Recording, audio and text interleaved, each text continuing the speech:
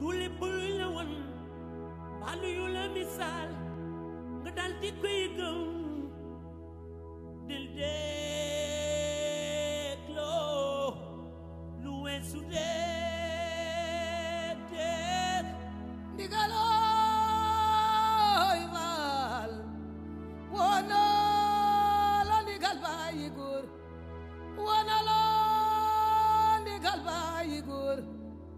بيجي كم بفعل بروم فرغاتي جانجر نيهم. دبا مام زنجايو اندي قلبال جمباري غيلكم. جمباري غيلكم. دي قلو جمباري الإسلام. نينا لزوي نينا لزوي Let's faalo ndigal faal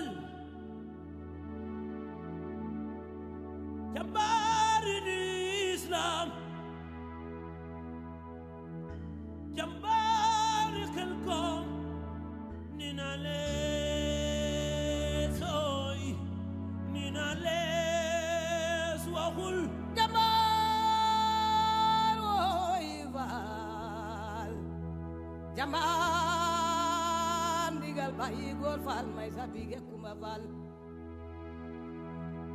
Jambaar ndigal may sa bige kumba faal. Jambaar ndigal may sa bige kumba faal. Njarama xaliba bàyyi góor faal. Malay woo faal may sa bige kumba faal. Nena lees ooy nena lees wawul bul dégg daal di gëm. Wala gis rek ni waaw gis dama war a teer dégg dégg war a xóot jàngal la ca biir du lépp lu ñëw rek nga gëm koy leesooy ni na lees waxul Bonjour mesdames, bonjour, bienvenue à nous. Bonjour. Hein? Bienvenue à nous. Tout à fait. On, on va commencer par les présentations pour nos télé- téléspectateurs. On va commencer par la belle Mamfa. Moi, je m'appelle Mme Fageiba.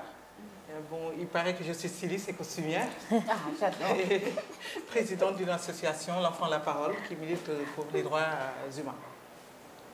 Parfait. À notre Linger, J'adore ce- cette appellation. cette appellation. Alors, euh, ravie d'être euh, sur ce plateau avec mes sœurs. Et, euh, je suis Tiane Diagne, styliste euh, de la marque euh, Jour J. Voilà. Merci, Tiane. Je t'en On prie. va passer par euh, les Benjamines. Voilà ça, alors. Alors, Stilena, Ah oui, je m'appelle Diarra Diop, je suis CEO de la marque Stilena. très cher. Bonsoir tout le monde. Très heureuse d'être présente ce soir parmi vous tous. Donc je me présente, je m'appelle Maguette Tima, je suis styliste, modéliste, créatrice de mode. Et ta marque? La marque s'appelle Intima. Merci, Antima. Et la sœur, Emma? Mais voilà, tu as tout dit. Je suis Emmanuel Jardin de Vie de Emma Group et aujourd'hui je suis là en tant que designer Emma Style. Emma, tu n'es pas, que- pas que designer quand même. Non, je fais plein d'autres choses. De Non, mais tu as un grand événement quand même au Sénégal. C'est vrai, oui. Le Emma Style Show, pour ceux qui ne connaissent pas, c'est un dîner de gala caritatif. Et merci d'ailleurs à Fashion Africa qui a énormément supporté cet événement. Merci à toi. Alors aujourd'hui, bon, moi je, me, je, je suis Adama. je suis Adama, euh, plus connue sous le nom de Adama Paris, et j'ai ma marque euh, donc, euh, qui s'appelle également Adama Paris. Et je suis là aussi fondatrice de la chaîne Fashion Africa qui nous reçoit, qui nous offre ce plateau aujourd'hui. Et on en profite pour se réunir dans le cadre déjà d'un petit groupement qu'on a fait. Tout à fait. Hein, toutes les six. euh, et je laisse euh, Emma en parler un peu plus. Alors, en parler un peu plus, je vais essayer, si vous permettez, mesdames. Alors, c'est une coalition de mode parce qu'on est des femmes entrepreneurs avant tout. On s'est dit, face à ce qui se passe, il fallait vraiment qu'on se retrouve dans une sympathie.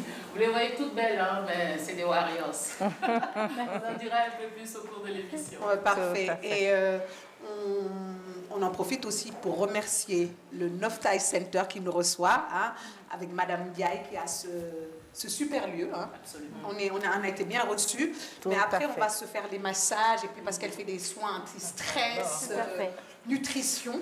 hein. Donc, on- je pense qu'on pourra en profiter. On en a besoin. on en a besoin. Ah, ma femme, ma femme, ma femme, on, on raconte la petite histoire ou pas? On racontait, Oui, racontait. oui, c'est pas gênant. C'est hein, maman. Oui, allez-y. Alors, Mafa, on est venu sur le plateau. Bon, pour les téléspectateurs, ça va un peu loose, un peu. Mafa, euh, donc le chauffeur de Mafa a oublié de déposer les affaires et est parti avec les affaires. Donc, on a eu un petit coup de stress, mais elle est revenue avec son bâton anti-stress. Oui. Le point. Bon, on va passer aux choses sérieuses et je vais commencer à poser. euh, donc, on a tous vécu une, une année quand même assez. Deux années, parce qu'on rentre dans la de- deuxième, Deuxième année avec le tout à fait. Covid, pour nous les entrepreneurs et surtout les créatifs, qui a été très très difficile. Mhm. Donc, euh, on va en parler un peu. Et il y en a qui ont su un peu rebondir et puis d'autres euh, un peu moins. Et surtout, parler de, des. Je pense qu'il faut aller dans le côté positif, parler des, des- peut-être des opportunités que ça, ça a hum, occasionné, ou en tout cas des opportunités qu'on a pu saisir malgré le, le- le drame mondial qui se, qui se passe, qui se joue. Donc je vais commencer par Tiané, parce qu'elle a quand même développé un projet assez ambitieux durant cette période. Donc qu'est-ce Ah. que tu peux nous en parler? Alors, je vais commencer par euh, dire la petite histoire que je crois que pas mal d'entre nous a vécu. Euh, C'est-à-dire que Covid, euh, ça a entraîné fermeture d'ateliers pour certaines d'entre nous. Pour d'autres, c'est euh, beaucoup de pertes des, euh, des ouvriers qu'on met au chômage. Euh, parfois, on essaie difficilement de s'en sortir et c'est pas évident du tout. Alors, pour jour J, c'était pas une mince affaire parce que qui dit jour J parle de tenue de cérémonie. Et euh, dès que la pandémie s'est installée, la première des choses qu'on a eu à faire, euh, les premières décisions du gouvernement, c'était d'arrêter tout ce qui était regroupement, tout ce qui était événement. Et de- euh, à partir de ce moment, plus de manifestations, plus de cérémonies, donc plus de commandes. Et ça, c'était un problème.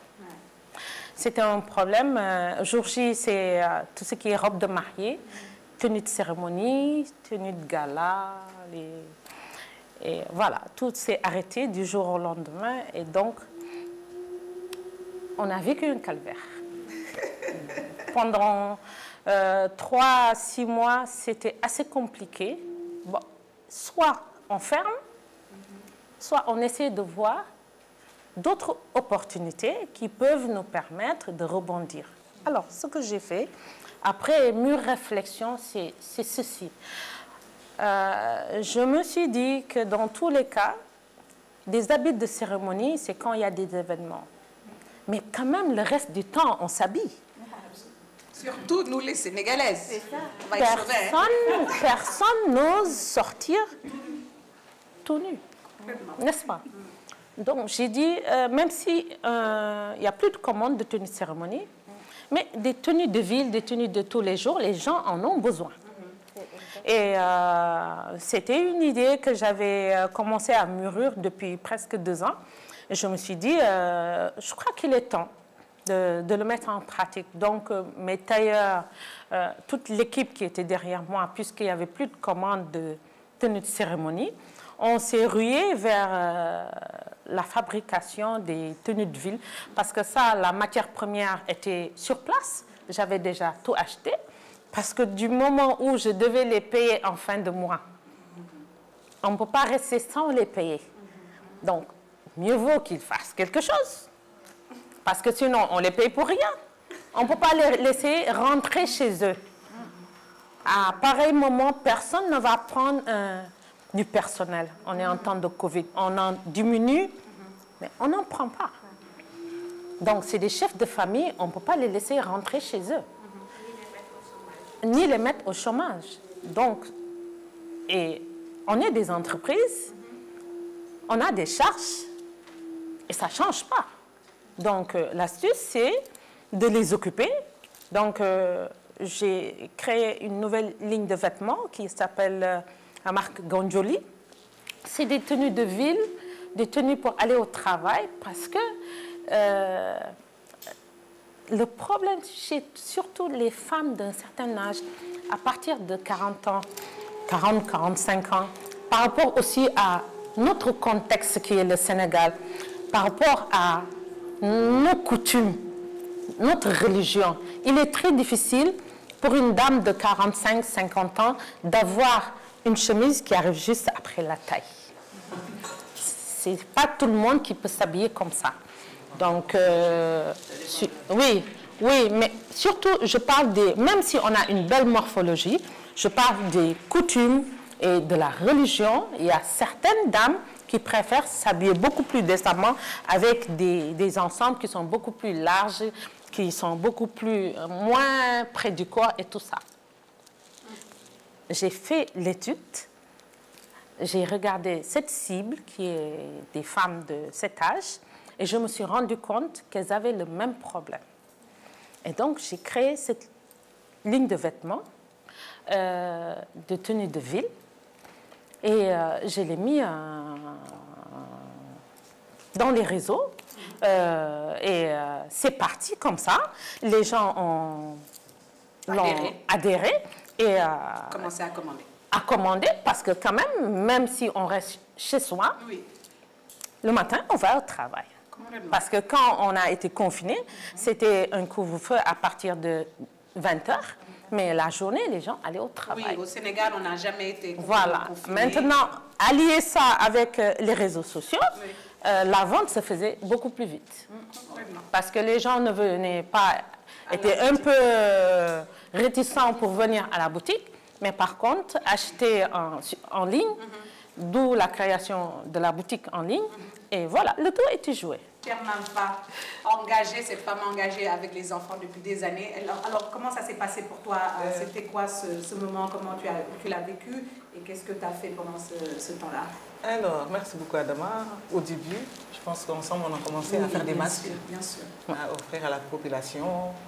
Je suis arrivée à faire quand même au moins 1000 masques à distribuer gratuitement pour participer vraiment à, cet événement-là, malheureux. Donc, euh, de toutes les façons, euh, moi, je n'ai pas eu, avec cette pandémie, euh, des, que- des- des choses positives. J'étais en plein tournage d'un film, d'un long métrage. Donc, si on est quand même une équipe d'une centaine de personnes, avec euh, par exemple une figuration de 500 à 1000 personnes, tout est stoppé net, c'est-à-dire que le- les rassemblements, etc. On nous avait interdit tout ça. Ouais. Et depuis, même au niveau des, des défilés, dans un atelier où il y a beaucoup de va-et-vient, il y a beaucoup de tailleurs, il était plus sage de vraiment diminuer le personnel, comme l'a dit euh, tantôt, euh, et, je pense Tima, Oui. diminuer le personnel. Et surtout, c'était pour respecter les distanciations. Et il faut savoir qu'à la première phase, la psychose était là, la peur était là. Donc les gens s'habillent même à la maison, au Sénégal, en Afrique, partout. Et les gens avaient peur. Je pense que le fait de penser, rien que de penser que le virus circule au Sénégal, avait fait que personne n'allait nulle part. Donc moi, franchement, pas de travail, pas de tournage. Yako. Non, non, pas de défilé pour Yako. être voilà. Oui, Bah oui, défilé surtout. la fabrication des, euh, des On a quand même eu notre euh, défilé confinement. Voilà, défilé Tu confinement qui était magnifique. Euh, donc, euh, ce fait qui pas. permettait aux gens de suivre. Oui, qu'on a, on a idée. fait une petite animation comme ça. Et donc, malgré tout, pendant ce temps qu'on fabriquait les masques à distribuer gracieusement, on a été visité par euh, euh, l'ANS pour certifier la fabrication et tout ça. Et il nous fallait garder tant de tailleurs avec la distanciation qu'il fallait, les mesures barrières. Tout le monde ne rentrait pas ni ne sortait comme il faut. Donc, on a vécu une année comme ça. Et encore, même si on pouvait partir en voyage pour pouvoir exposer, participer à des événements, euh, c'était pas vraiment le moment opportun. Parce que pour voyager, avant, il n'y avait pas le vaccin, les tests, c'était compliqué de les faire. En tout cas, la peur a fait que tout a été stoppé. Et jusque-là, moi, en tous les cas, j'ai passé une année vraiment euh, Catastrophique. Vivement, vivement que ça reprenne. Et là, c'est une belle initiative, euh, cette émission-là. Euh, L'idée excellente et puis tout le monde a partagé. C'est-à-dire que là, on repart vers un, nouveau départ. Un nouveau départ, Euh, Moi, j'ose dire, dire les choses. On n'a pas travaillé. Moi, j'ai pas travaillé du tout. Et voilà, ça a impacté beaucoup sur aussi bien mon personnel, aussi bien sur le plan économique de l'entreprise, etc. Donc, c'est-à-dire qu'une année où on a, on a vu nulle part euh, telle ou telle autre créatrice sur les grands podiums, c'est quand même... euh, c'est chaud. Il n'y avait plus de grands podiums. Voilà. Donc, Il y avait- c'est vrai voilà. que- Une année sans podium, sauf euh, Adama, oui, qui a fait... On a essayé, on a essayé, on a essayé, oui, on a essayé, mais même pour la Dakar Fashion Week, je me suis dit quand même à 18 ans, on ne va pas annuler. Et, Ouais. et puis moi, pour ma part, c'était aussi, comme le dit Manfa, je t'en prie. Non, en fait, je voulais rajouter que euh, pendant, par exemple, c'est tombé au mois de décembre, Oui. fin d'année. Oui. Donc tout le monde sait que nous, nous vendons plus Ah. en ces Oui, périodes-là. Moi, j'ai une clientèle qui vient de l'extérieur beaucoup. Bon, ouais. Et donc, c'est-à-dire qu'au mois de décembre, les meilleures ventes se passaient là. Mais personne n'osait se déplacer. Et même, je pense que même les gens euh, euh, craignaient beaucoup, de par leur budget qu'ils avaient, de faire des dépenses. Parce qu'on ne savait pas jusqu'où ça allait nous mener. Oui, l'avenir, les, dépenses, les, gens qui dépensaient pour acheter vos collections étaient devenus un peu frileux. Tout à Donc, fait. il n'y a pas eu d'aller-retour. Donc, tout est, tout est resté là, les collections sont là. Et maintenant que c'est ouvert, nous invitons le public, tout le monde à venir À venir. nous visiter. Emma, chère Emma, raconte-nous. Alors, euh, la petite chance, je vais dire, que moi j'ai eu en grippe, c'est que Eva Style fait 70% de tenue de ville. Oui. Donc juste Voilà. 1% de tenue de cérémonie. C'est ça. Ce qui fait que quand on a voulu fermer à un moment, c'est certains clients qui ont appelé. Mhm. On dit, mais tu n'oses pas. Déjà qu'on est déprimé, on ne peut pas sortir. Il faut que tu nous habilles. Donc Tout ça a fait. été vraiment quelque chose de positif. Par contre, quand le Covid venait, comme disait euh, Mamfa, on ne l'a pas vu venir en Afrique en fait. Parce que je me rappelle, j'étais à un événement, parce qu'on a osé s'ouvrir en Afrique centrale. Donc j'étais à Douala quand on entendait ça. Je, je me rappelle, on devait participer à un événement en Chine. Je me suis dit, bon, le temps qu'ils finissent de gérer le Covid euh, au Barbade. Et je suis rentrée à Dama, à Dakar. Je devais retourner à Douala 15 jours après et bim D'abord, j'ai dit Dieu merci, je n'ai pas été enfermée à Douala. Ça va faire plaisir à mon mais t'habites ici. J'habite ici, donc euh, après on a profité quand même euh, de la période, parce qu'en dehors de Emastic, et des fois c'est l'avantage d'avoir plusieurs cordes à son arc. Oui. Parce que de métier, je suis consultante en stratégie et en communication, et j'avais un produit qui grandissait, euh, qui parlait d'entrepreneuriat féminin. Donc j'ai eu tout le temps de bien développer ça, de développer la plateforme Fière d'elle. C'est pour ça d'ailleurs que j'ai adoré la coalition parce qu'on n'est que des femmes. Désolée monsieur, on vous adore. Donc ce Covid, quelque part, Adama, tu me connais, moi je suis positive jusqu'au plafond, jusqu'à oh là là. Donc je me dis, ça a été chaud, c'est vrai. Il y a une partie du personnel qu'on a dû mettre en chômage technique parce qu'on s'est dit on ne pouvait pas payer. Mais après, on a gardé vraiment le, le positif et puis on a essayé de créer, hein, comme disait Tima, hein, profiter comme la plupart des artistes. On a essayé. Mais je pense que bon, c'est vrai qu'il y a une euh, euh, il y a une note quand même positive qui sort de tout ça, c'est qu'on est là. Voilà. Parce qu'il y en Mm-hmm. Tout à a- fait. Il y a plein de boutiques complètement fermées, plein de gens à se, se- Ouais. euh, changer de métier. Oui, Complètement. c'est vrai. Tout à fait. Quand même, notre force, c'est qu'on est encore là. C'est pas encore fini, mais on est toujours là. On Et on, voilà, on, on- souhaite euh, euh, essayer de continuer plus. Moi, je suis comme toi, j'ai beaucoup de cordes à mon Ouais, arc. et du coup, c'est vrai que moi, ça m'a permis, quand les habits allaient pas bien, euh, mais moi, c'était aussi une grosse perte parce que j'ai des boutiques en, en Europe qu'ils ont fermées, au Maroc, complètement fermées. Et, et- c'était très, très difficile. Et pour une fois, et je tiens à le, le- le souligner, les, les- nos, nos boutiques en Afrique ont pris le relais.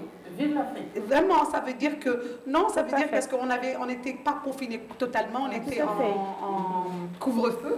Et du coup, euh, et moi comme Emma, euh, je ne fais pas des habits de cérémonie. Euh, du coup, moi, c'est vrai que ça, ça nous a permis de, de réfléchir à des choses Tout et puis surtout de mettre en, en- en marche le, le site internet où Mm. on vend pas mal. Donc voilà, je pense que maintenant, on a dû apprendre chacune de nous des leçons de cette euh, pandémie parce que tout était, tout, tout le monde entier.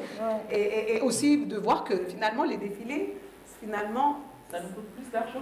C'est pas c'est pas que ça qui compte et que on a une autre façon il faut Ah qu'on oui. développe une autre façon de de, De faire. De voilà. Complètement. Je pense que c'est quand même nécessaire parce que c'est un moment de fête de la mode et Mm. qu'on est quand même un métier ludique on a un métier où on a besoin de voir le vêtement, de le toucher, De le et ça, ça manque. Et Tout à du coup, fait. Voilà. Mais ça nous a permis aussi de dire que voilà, pour l'instant, on ne peut pas faire ça, allons faire. Et puis le digital, ça nous a pratiquement toutes mis. Tout à fait. Celle qui ne faisait Ouais. pas de forcer le digital. Moi, je sais que dans le digital, nous, on vend énormément maintenant. Tout à Donc fait. finalement, on- la positivité africaine, on a su euh, de, de- de- des choses euh, Résilience. euh, complètement, de, de rebondir et de faire les choses différemment. Absolument. Maintenant, j'aimerais qu'on qu'on- qu'on parle un peu quand même euh, de notre coalition, Absolument. hein, de notre coalition qui, euh, je pense, nous tient à cœur, euh, nous toutes. Et je suis très contente qu'on ait pu euh, toutes être là, hein, parce que c'est pas évident avec la famille, les enfants et tout. Mhm. Et, et, euh, les, les maris. Mais non, on a des maris compréhensifs. On va leur faire un bonne Quand pub à la même. télé. Et du coup, euh, tu peux nous dire que cette coalition qui nous réunit quand même euh, aujourd'hui, parce que je veux changer, je vais me mettre là. Bon, ok, d'accord. Non, elles ne se sont pas à l'aise. C'est comme une discussion. Surtout comme ça, on aura une idée. Et si je C'est comme déjà, déjà c'est une. Bon, ok. Donc, moi, je, je parle un peu beaucoup. Waouh. Voilà. Bon, moi, je suis très heureuse qu'on soit là euh, aujourd'hui, au-delà du fait de fêter notre 4 avril euh, national. Voilà, nous, on est des créateurs, des entrepreneurs, des créateurs de- d'emplois, de, des générateurs de, euh, de- d'espoir.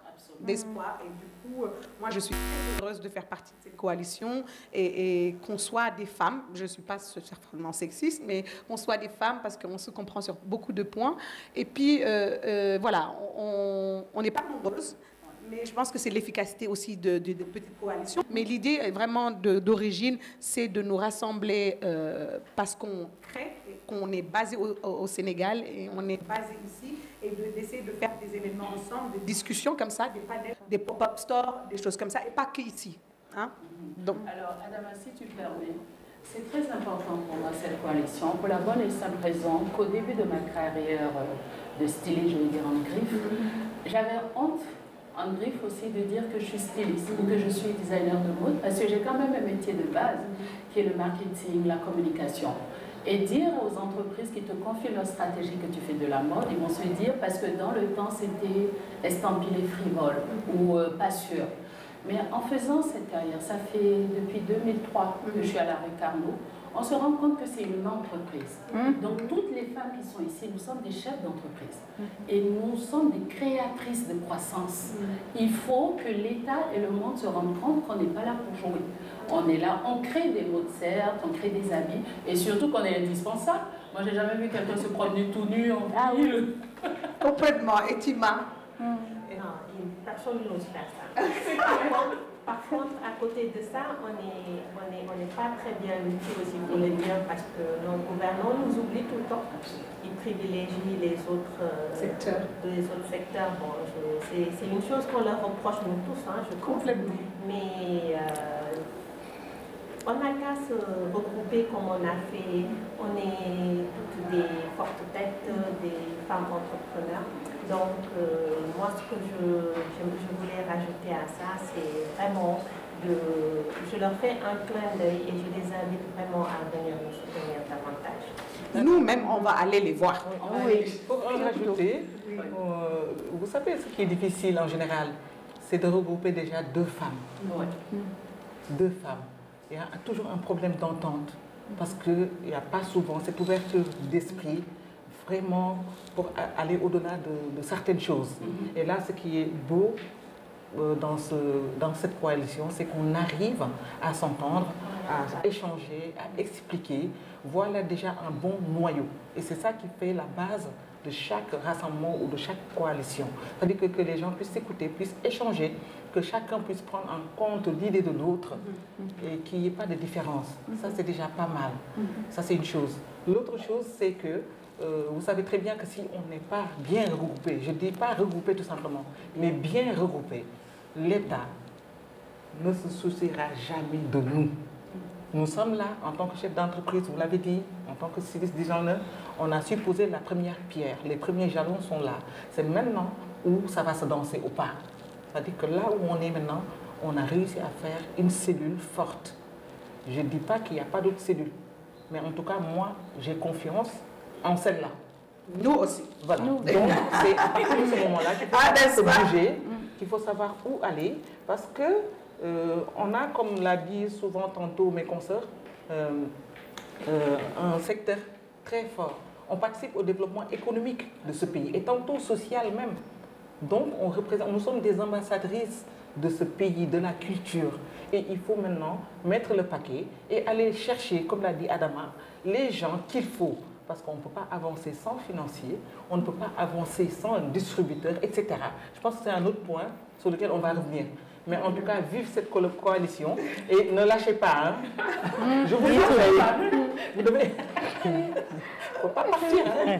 Alors, Du tout, on ne lâche pas, du tout. Et on ne lâchera pas. Ce que femme veut, il y a l'adage qui dit Dieu ce veut. que femme veut, Dieu le veut. Hein? Et euh, heureusement qu'on n'attend pas. On est euh, sur notre route et on travaille, n'est-ce pas? Euh, Et se mettre en, coalition comme ça permet d'échanger euh, de s'entraider et de faire de grandes choses. C'est ça. Et moi, c'est surtout replacer la mode sénégalaise à sa place. hein. On a détenu, il fait un temps, la capitale de la mode africaine. faudrait qu'on fasse de telle sorte euh, que ça revienne. hein. Il faudrait pour ça, comme fait euh, Adama avec le Dakar Fashion Week, Emma avec le Emma Style, je fais la nuit du boubou et euh, Diarra, d'autres font la même chose. Et euh, c'est des événements qui, qui sont très difficiles à réaliser du point de vue financier. Et euh, maintenant qu'on est en coalition, peut-être euh, ce sera beaucoup plus facile.